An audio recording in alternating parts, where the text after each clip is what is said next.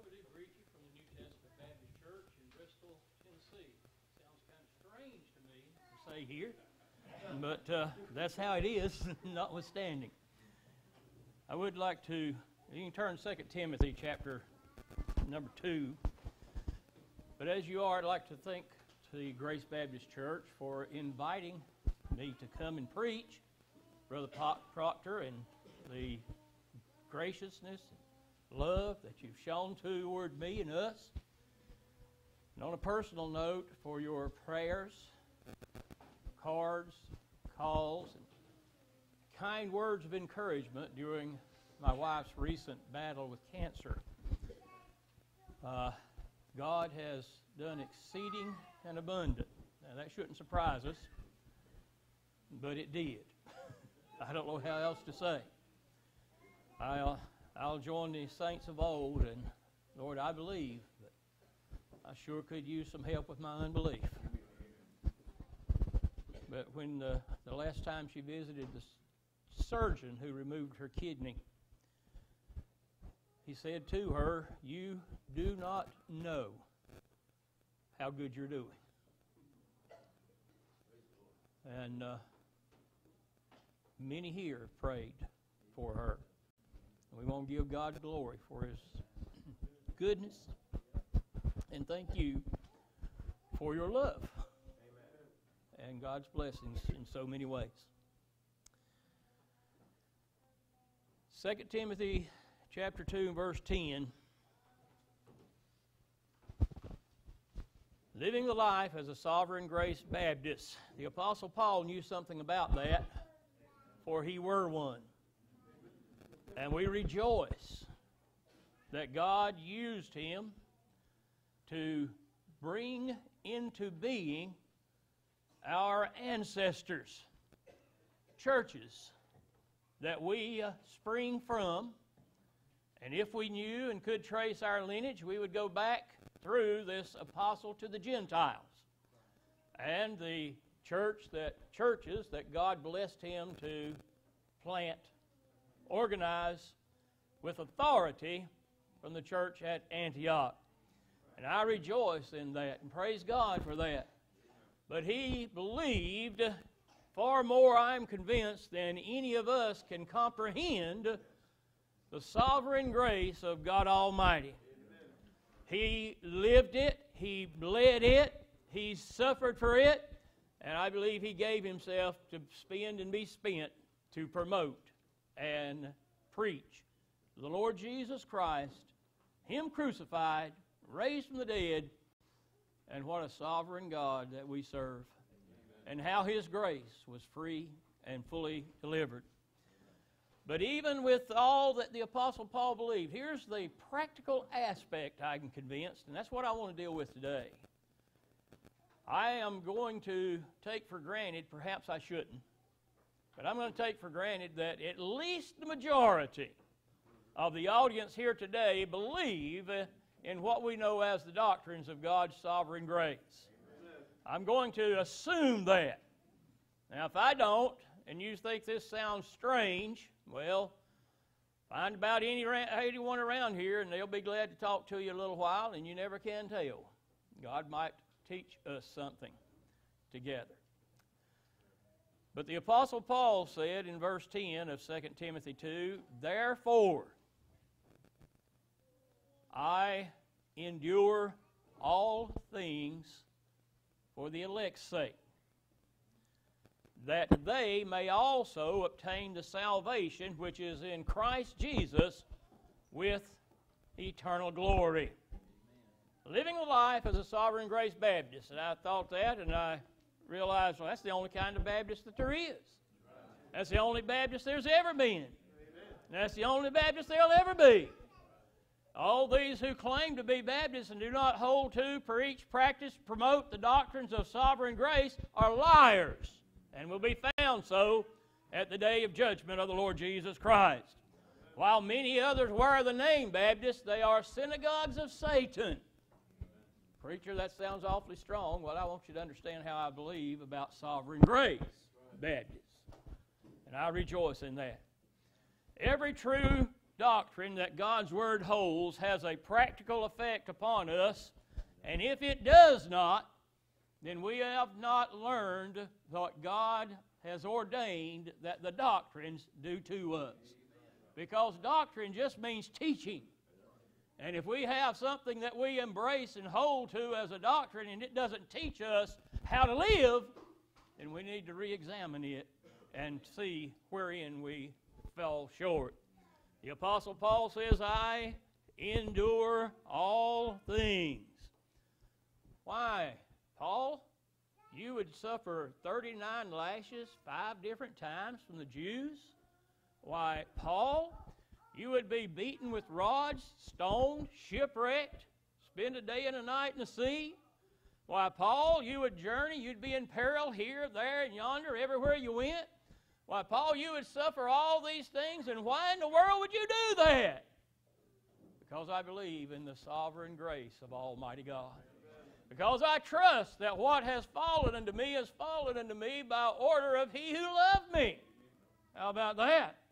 That the things that I have suffered, I have suffered for righteousness' sake, and the blessing shall be mine as a result thereof. I am persuaded that the Apostle Paul would say, I rejoice in my sufferings. I praise God for my sufferings. I would that I could have suffered more for he who suffered so much for me. Would he not say, even with all that I've suffered and all that I've done and endured for the elect's sake, for the glory of God, why, I'm the very least of them all. And I'm not even fit or worthy to be called an apostle of the Lord Jesus Christ. I've done things that I wish I hadn't done, but I can't get them out of my mind. Now, I would ask us today what have we done? What are we enduring for the elect's sake?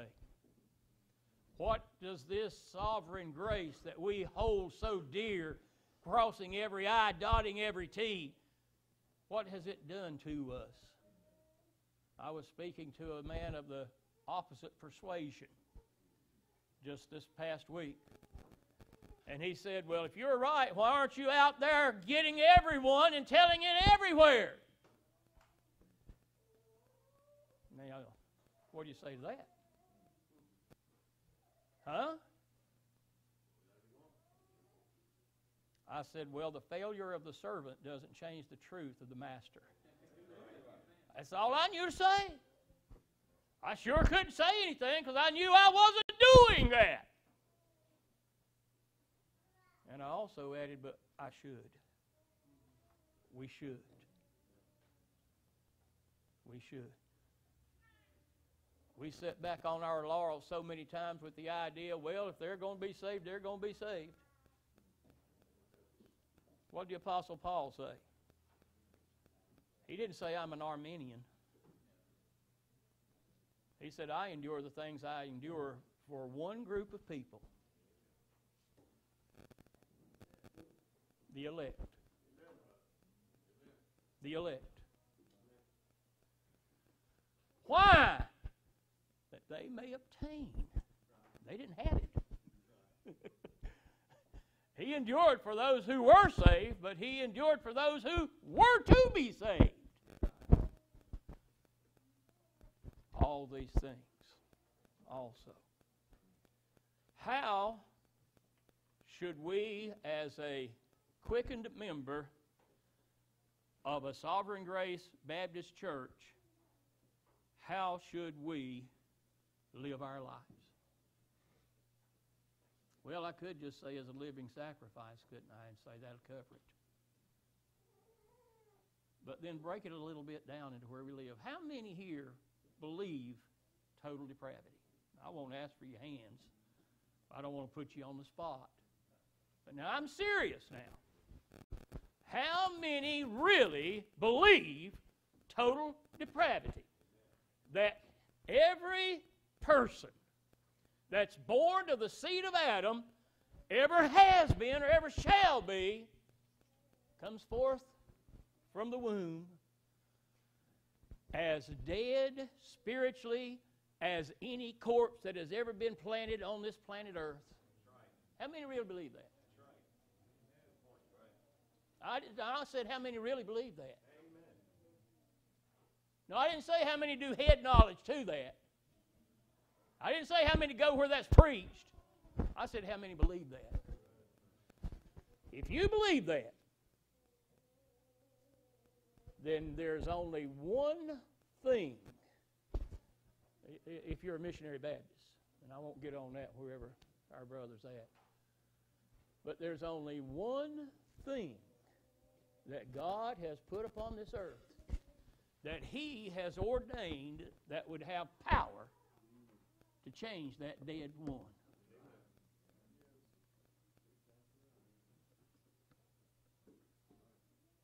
Now you think about this. I thought about this. Doctor walks in and tells uh, Judy that she has cancer. It's, it's on her right thigh. It's in her left lung. Right kidney's got to be totally removed. He said, Now there's the problem. I'll pray for you. And go on home. Turn on his TV. Sit back with his feet up. Enjoy his R&R. Occupy and busy himself with everything in the world except her need.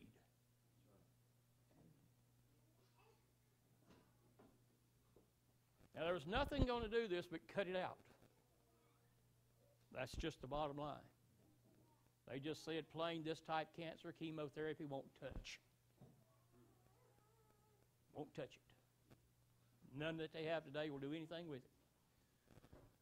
The knife was the only hope, and some radiation in her lung because that was a place they just couldn't even do surgery. Things didn't look so good. Seemed a little gloom. Well, how gloom does it look to you when you see someone without Jesus Christ? How gloom does that look to you? When you see someone, I tell you, it ought to break more than just our very beings to see someone who has lived a long life, their hair is either all white or gone, and they're just sitting around cursing, drinking, living a life of sin. Well, no matter what age they are, but it certainly tires me when they're that age. And, and I, you know, old folks m- or must die, and the young ones might. I mean, that's just the way it is. It, uh, sin's going to take a toll on this body sooner or later. And the only hope that they have, now this is true whether you believe it or not, is that someone care enough about them to communicate the gospel of Jesus Christ. If someone doesn't do that, they will die in their sins and in hell lift up their eyes. Preacher, I thought you believed in sovereign grace. I do. That's why I believe that. I believe in total depravity. My hope's not that they might someday turn to God. My hope is that someday that God will turn them, and in order for that to happen, don't worry with trying to tell me what God could do. I weary. I weary with people trying to explain to me what God could do. Well, I, I don't know. Except whatever He wants to. But I know this. I've not learned everything that He's revealed of what He has done and what He's going to do and is doing in His Word. And until I know everything about that, I'm not going too concerned about what He might or could or would have. And I do know that He has said that it pleased Him through the foolishness of preaching to save them that believe. And I know that He has said that the gospel of Jesus Christ is the power of God unto salvation. And I know the Apostle Paul said, You may have 10,000 instructors, but in Christ Jesus you have but one Father. I have begotten you with the gospel.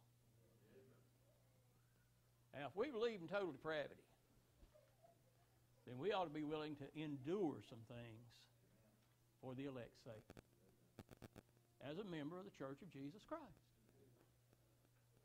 As a member of the Church of Jesus Christ, if we believe the doctrines of God's sovereign grace, we can go fish with a license.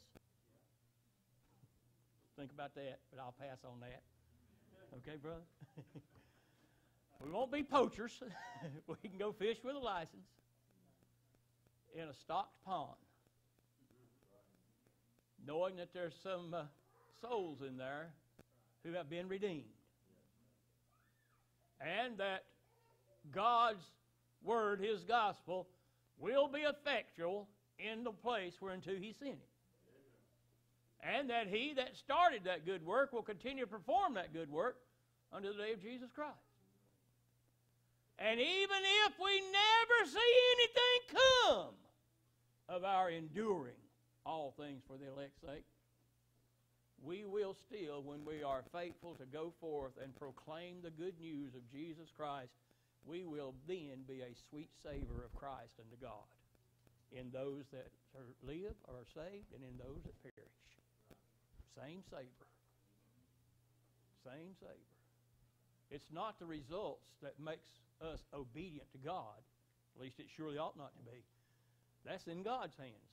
Right, Sovereign Grace Baptist? the result's in God's hands. It is our responsibility to go and sow.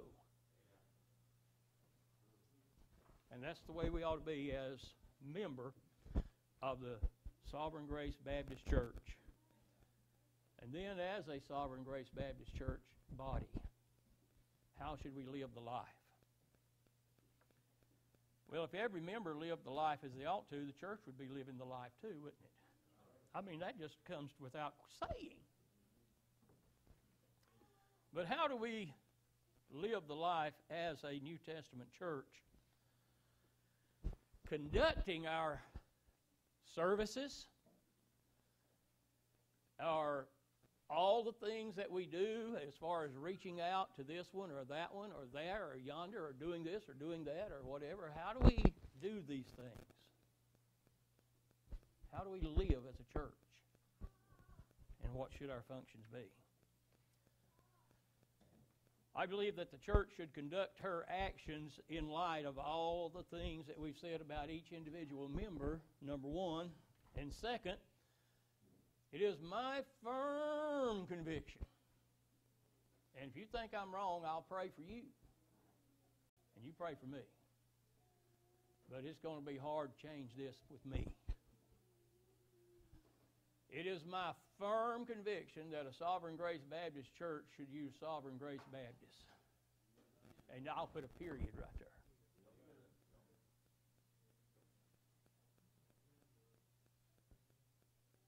I don't want to see Jerry Falwell in a Sovereign Grace Baptist Church preaching. Or anyone like him. Well, we don't have enough sovereign grace preachers. Well, then some of you men step up to the plate and at least read the Word of God. Don't give up the truth because it gets tough.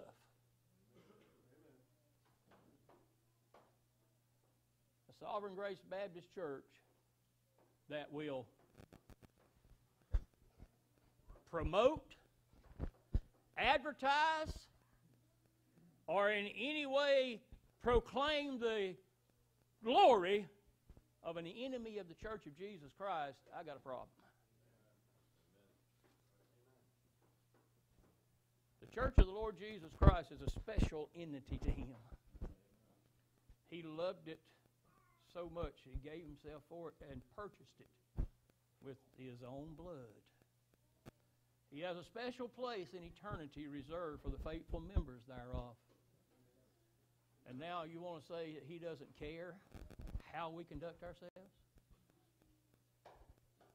And that we are not to hold ourselves to a higher standard than anyone else in this world? In every way. I'm convinced that as Sovereign Grace Baptist church should be the greatest church in the world. It is. And that every member ought to be the greatest person in the world in every way. In every way. There's no reason for anyone to be ahead of a Sovereign Grace Baptist church member. We use the Sovereign Grace Baptist for teachers, for preachers, for singers, for serving God in His church. Serving God in His church.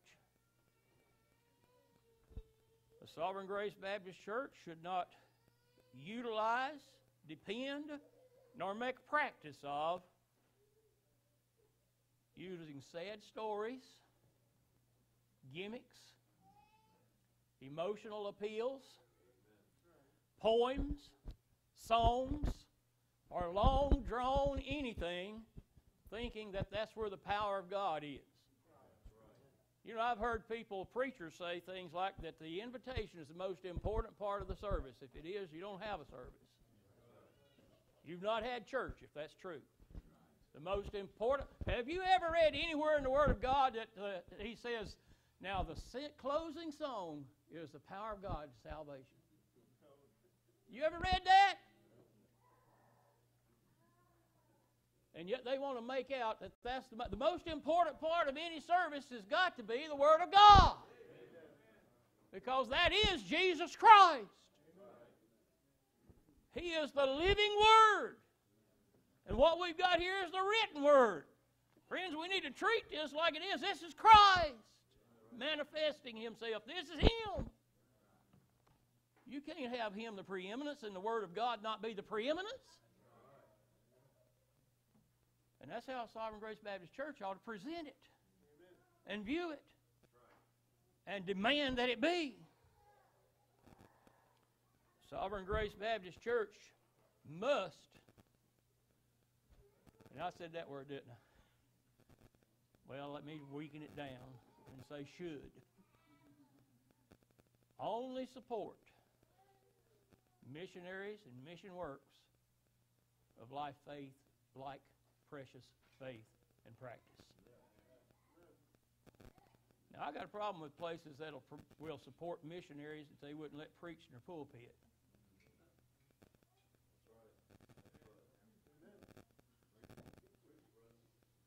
What? Well, what do you think they're preaching wherever you're helping them preach? If they're not fit to preach for you, surely they shouldn't be supported by you. There is no shortage of songs, sovereign grace, Baptist mission works in this world. There's no shortage of those. We sit back here and we think, I want to hear the, what's going on, what they're doing, how much of this is done, how much of that's done. You know what the Apostle Paul said? I didn't keep no records. I don't really know who I baptized, who I didn't baptize. Because to tell you the truth, God didn't send me to baptize anyway. That's the truth now. And yet we're so impressed when someone comes around and tells us there's been this many hundreds or thousands or whatever it is. And that's fine. I'm glad God's blessing and using them. But I want to hear what they preach. I want to hear where they're from. I want to know what church sent them, what that church believes, where that church came from. Huh? That's living the life as a Sovereign Grace Baptist Church. Putting to practice what you say you believe. Sovereign Grace Baptist churches should fellowship, now get this point, in a church capacity with Sovereign Grace Baptist churches. And I got another period. I got another period right there. Sovereign Grace Baptist churches, I won't stay. I have no reason taking anything wet for baptism. Now, I'm going to tell you something. There is no difference between free will immersion than Methodist sprinkling as far as baptism is concerned. One's just as valid in heaven as the other one. It is. And it don't matter if you Methodist sprinkled a baby or if the one who was immersed by that free wheeler was saved. They're both just as valid a baptism in heaven. Where am I at? Oh, well, I see that. Three or four minutes. Well, okay.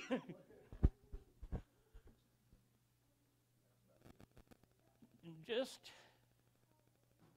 know what you're doing.